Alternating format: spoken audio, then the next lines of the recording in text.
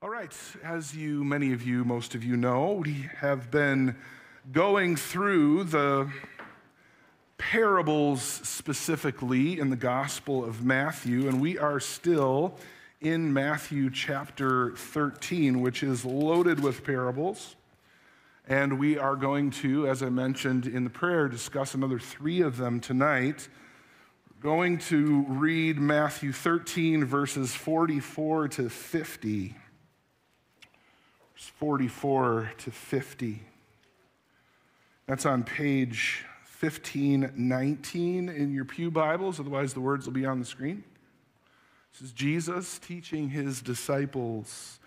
He says, The kingdom of heaven is like a treasure hidden in a field.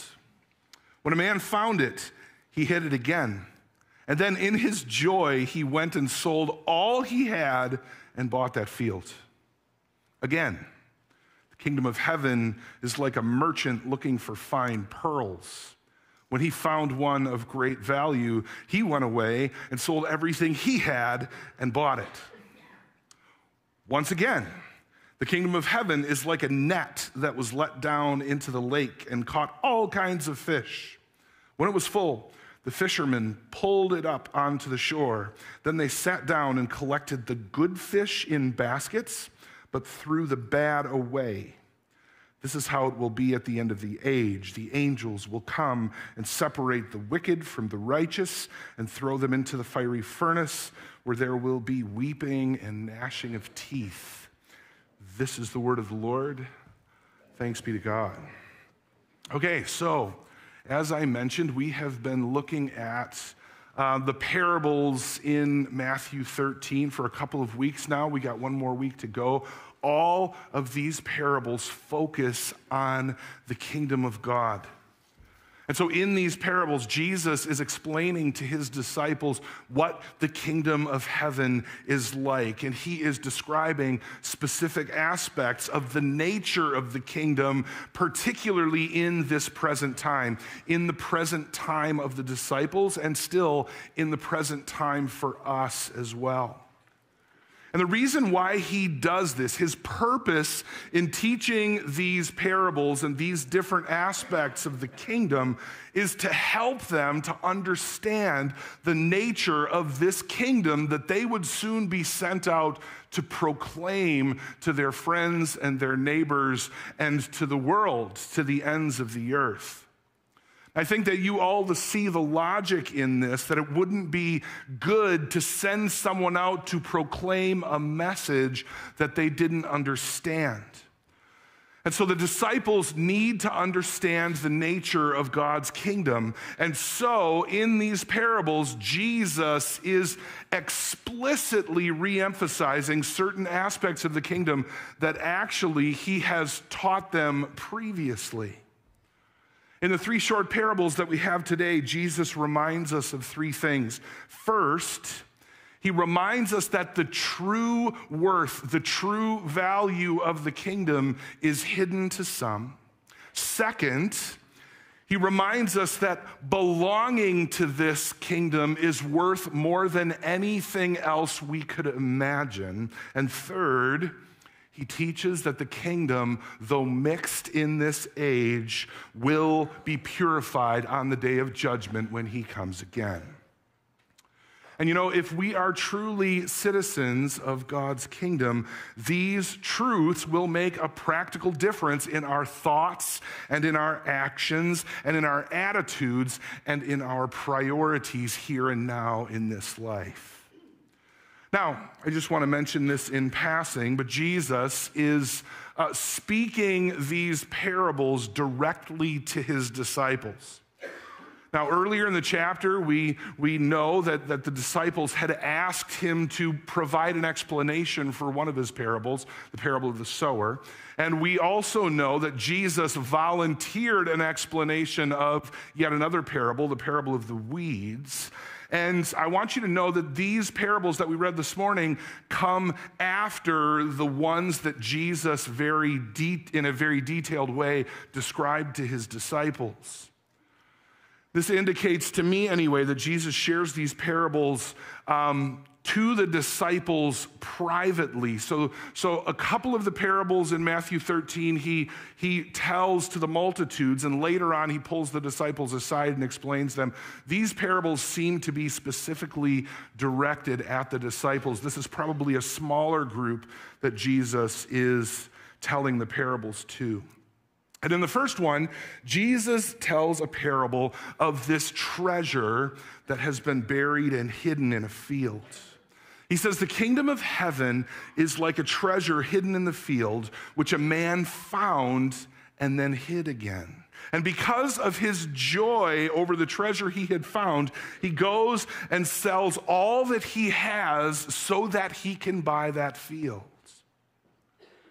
Story focuses on this guy that while doing some kind of work in his field, unexpectedly comes upon a treasure. And when he comes upon this treasure, he recognizes that it is so valuable that it's worth more than the field itself, and it's, it's worth more than everything else that he has or could ever hope to have. And so he goes to work. He gives away everything that he has in order to purchase this field that contains this treasure, and he obtains it. And so, in this parable, just very simply speaking, we learn that the true Christian, the true believer, sees the value and the worth of God's kingdom, even though it is hidden to the sight of many in this world. And you know, as Jesus tells these parables, and as I have reminded you before, he tells this parable to kind of, kind of give the disciples a bit of a corrective because they have these expectations of God's kingdom that are not quite right. And Jesus needs to prepare his disciples by, by correcting those misinterpretations or those misexpectations so that when they go out and proclaim the kingdom, they are doing so accurately. And in this parable, Jesus is trying to cor- correct the, the misunderstanding that, that the kingdom would be very obviously valuable to, to everyone who saw it, to everyone who came upon it. See, the disciples expected the people of Israel in particular to be already diligently seeking after the kingdom because it was so valuable. But listen to what Jesus says says the kingdom is like a treasure hidden in a field. And a certain man comes upon it unexpectedly while he was digging, and he sells everything he has in order to buy the field. But Jesus indicates that the treasure is going to be hidden to many. Not all are going to see or acknowledge the value of the kingdom. Not even all those in Israel would be able to see the value of the kingdom of heaven. And so I want to just kind of pull out three little things that I want to make sure that you notice in this parable. First, that the treasure is indeed hidden. It's not openly displayed for all, and not all see the value of it. Secondly, I want you to notice, because this is interesting, that the treasure is found unexpectedly. Now, this man was not digging in the field in order to find treasure, he was digging for something else. Maybe he was just plowing the field. And he happens to just kind of stumble upon this treasure. So he wasn't even looking for it when he found it. Third thing I want you to notice is that this treasure is worth everything. Jesus indicates in this story that there is nothing in this man's life that, that can match the value of the treasure which he has found. Of course, what Jesus is saying here in the parable of the hidden treasure is the reality, the truth that the value of salvation is so exponentially more valuable than any anything else, that it's incalculable. The treasure that we have in Jesus Christ, the treasure of salvation through faith, is the most important thing to those who discover it and obtain possession of it, some of us without even having have looked for it. So, one thing that I was thinking this week is that, you know, a parable like this, and, and also it applies to the next one as well, is that it, it, it, it provides a, a good diagnostic for our hearts. A parable like this forces us to ask ourselves, you know, what is the kingdom worth to me? Or is the kingdom my priority? Because biblically speaking, I mean, in Jesus' own words here, our estimation of the kingdom's worth tells us whether or not we are actually in the kingdom of God. And that's a pretty important thing. If we do not value the kingdom as the greatest treasure, if we do not value a, a, saving, eternal relationship with Jesus Christ above all else, then we have cast our lot with all those who haven't seen the treasure and who haven't recognized the true value of the treasure. The people who have refused to uh, give away everything else they have in order to obtain the treasure. Commentator William Hendriksen says it this way, and I think it's beautifully worded. Says the point of this parable is that the kingdom of heaven the glad recognition of God's rule over heart and life, including salvation for the present and for the future, for the soul, and ultimately also for the body, the great privilege of thereby being made a blessing to others for the glory of God. All this is a treasure so inestimable and precious that the one who obtains it is willing to surrender for it whatever could interfere with having it. It is the supreme treasure because it fully satisfies the needs of the hearts. This is the one needful thing. This is the one thing that satisfies. This is the one thing that we need, and nothing else matches up to it. Very well said. But just because it's very well said doesn't mean that you own it. And so I ask you this question again does that accurately describe the value you put on Jesus Christ and his gospel? Or is it just one among a number of other things that are significant to you in your life? Something, something that you place alongside of other very good and important things? Is it the one thing? Is it the one priority? Is it the treasure of your life. The Apostle Paul serves as kind of a, a living illustration of this parable. Consider what it says in Philippians 3, verse 8 and 9. This is Paul writing to the Philippian church. He says, What is more, I consider everything a loss compared to the surpassing greatness of knowing Jesus Christ my Lord, for whose sake I have lost all things. I consider them rubbish that I may gain Christ and be found in him, not having a righteousness of my own that comes from the law, but that which is through faith in Christ, the righteousness that comes from God and is by faith. So, Paul gives us a little glimpse here of the aftermath of his conversion. Remember, Paul was on the way to Damascus. Um, uh, intent on persecuting Christians, and then unexpectedly he encountered the treasure, or the treasure encountered him, however you want to look at it. But he rightly saw the value of the treasure and he gave up everything that he had and everything that he was actually in order to embrace that treasure. And Paul literally did lose everything. He lost his career, he lost his reputation, he lost his family and friends. Ultimately, he lost his life. But he was ready to give it all. Not only to give it all, but not to have ever regretted giving it all either. In his eyes, everything that he had given up was worthless in comparison to knowing Jesus Christ as his Lord. J.I. Packer, in his book Knowing God, perhaps some of you have read Knowing God, tells the story of a colleague who, uh, because of his commitment to, to Jesus Christ and, and his Christian principles, had lost the possibility of ever advancing in the British university system in which he, he served. He was never able to get to the point of being a, a higher level professor because of his faith in Jesus Christ and his, his profession of Christianity. Anyway, Packer tells the story of walking in the woods with his friend one day, and he asked him if he had ever regretted that decision. He ever regretted that decision, whether he uh, kind of even resented what had happened to him, the, the glass ceiling that had been put in place for him because of his faith.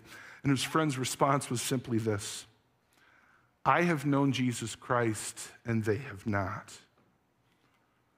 He was happy to have foregone the advancement of his career because he did have the most important thing Jesus Christ, and he knew it. He recognized the value of the treasure. How many of us can honestly say that about our relationship with Jesus Christ.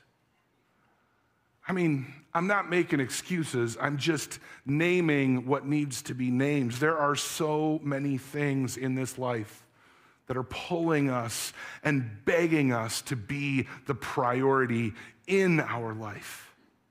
It may be friends and family and relationships. It may be success and wealth and status. I mean, there are so many things that are vying to be the treasure in our lives. But Jesus says that his people, the people that he has called, the people that the Father has given into his hands, true believers, will see the value of his kingdom and they will be ready to give up everything else they have in order to obtain it. So, moving on, the parable, the merchant seeking pearls, Jesus emphasizes this point again the truth that the, the true believer values the kingdom above everything else. He says, The kingdom of heaven is like a merchant seeking fine pearls. Upon finding one pearl of great value, he went and sold all that he had and bought it. And so Jesus tells the story of this merchant who deals in precious jewels and stones, who was actively seeking for, you know, the, the best pearls that were out there. And one day he comes across absolutely the most beautiful, the most perfect, the, the most wonderful pearl he had ever encountered. And he realizes, you know, in order to, to purchase this pearl, in order to, to get this pearl, it's going to cost the sum total of everything else that I have. Well, the man doesn't hesitate. He buys the pearl. And again, this parable is designed to make a point to the disciples and to us about the kingdom. I want you to remember, Jesus is teaching his disciples and us about the nature of his kingdom, and much of what he has been telling the disciples is coming as a big surprise. Because they have been expecting this kingdom to come in this great, majestic, and glorious way. And yet, Jesus says in a different parable, you know what? It's, it's going to come in a, in a very humble form. They also anticipated that all people in Israel would immediately recognize the value of the kingdom, but Jesus tells them that the kingdom was going to be hidden to some and underappreciated and undervalued by many. At the same time, and we see this in the parable of the merchant seeking pearls, Jesus wants them to know look, even though my people, have by and large not recognized the value of the kingdom. Even though my people have despised me and despised my message, I want you to know do not be in doubt that this is the most valuable thing in the world. You have rightly recognized that this is to be the priority in your lives. There is nothing more valuable than the kingdom, and Jesus' true followers would know that. Just like the man digging in his field, just like the merchant seeking pearls. And after finding that one pearl of great price, being willing to give up everything else in order to obtain it. But I want you to notice a couple of things about this parable as well. First, in this case, and this is very interesting, the merchant is actually seeking for a treasure. He is searching for a pearl and he finds it. Now, in the parable of the treasure hidden in a field, the, the guy digging doesn't even know it's there. In the parable of the pearl, there is an intentionality. The merchant is looking for a treasure. That's got to tell us something. Well, I think that it tells us that it is God who is the one who is responsible for initiating initiating the treasure being presented to someone, and also the one initiating that person having eyes to see the treasure and actually seeing the value of the treasure. And God says, you know what? It's not just the people that are seeking for the truth. It's not just the people that are, that are searching for answers that the gospel is going to hit and transform. Some people are not going to be looking for anything. They're going to be perfectly happy in their lives. They're going to be going along minding their own business, not searching for anything. And the gospel will be proclaimed to them, and they will have their hearts melted and they will respond to it. I mean, talk about how wide God's grace is. Indiscriminate as He sows the seeds of the gospel of His kingdom. So that's the first thing I want you to notice. Second, I want you to notice that the merchant too treasures this uh, pearl above everything else. And that he is willing to, to acquire the treasure at great personal cost. Yes, Jesus teaches again that all who are true citizens of his kingdom will be given eyes to see the value of his kingdom, and they will seek first the kingdom of God. I want to include another quote from another commentator, J.C. Ryle, here. He comments on both these parables. He says these two parables are meant to teach us that people really convinced of the importance of salvation will give up everything to win Christ and eternal life those who have truly seen the kingdom, those who have seen its value, those whose hearts have been made by the grace of the Spirit to see the value of the kingdom, the value of salvation, the value of the Lord Jesus Christ, are ready to give up everything else for it. That said, we all know people who are interested in the kingdom but something in their lives holds them back. Maybe some of you are among those people who are interested in the kingdom, interested in church, interested in the gospel, interested in this great gift of salvation that God has presented to humanity through his son Jesus Christ. We all know people who are interested, but there's something in their lives that is holding them back. We all know people who kind of want to be on both sides of the fence. They want the kingdom, but they want to hold on to their worldliness too. They want the kingdom, but they want to hold on to their materialism too. They want the kingdom, but they're not willing to let go of this sin that they continue to pursue over and over again, even though it leads to destruction. You know, as sinners, we all have things that pull at us, that we are in danger of valuing more than the kingdom of God.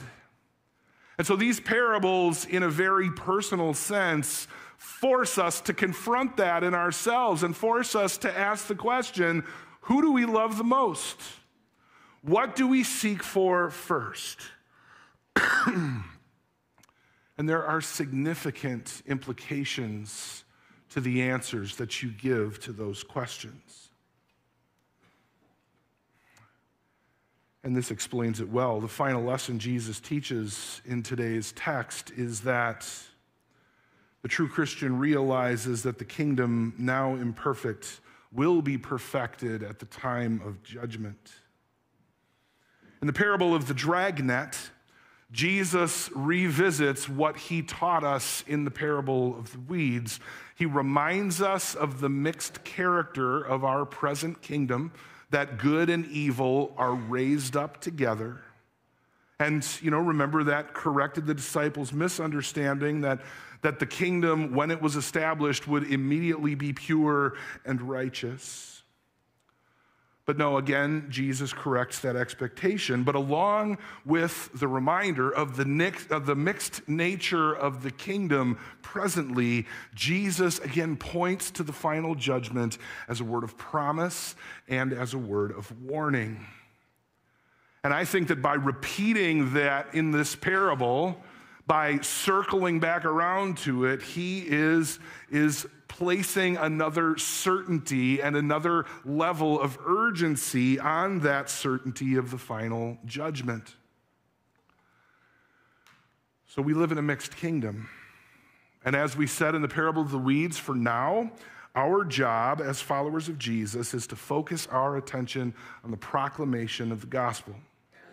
Proclamation to those who are seeking for the treasure like we saw in the parable of the pearl. Proclamation to those who don't seem to be seeking at all, which is the parable of the treasure hidden in the fields.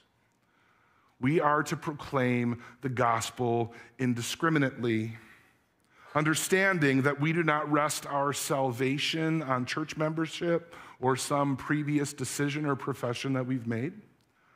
Our salvation, our confidence is based on a current, living, active, vital, saving trust in Jesus Christ and Jesus Christ alone. It is in embracing the King and embracing his kingdom. That's where salvation and assurance are found. And so, is your relationship with Jesus Christ and citizenship in his kingdom your treasure? That's the question I leave you with.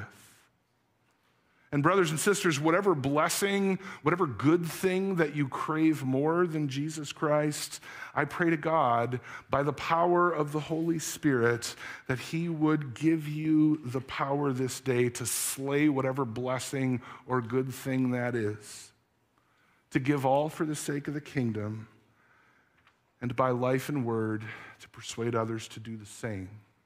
Amen. Let's pray.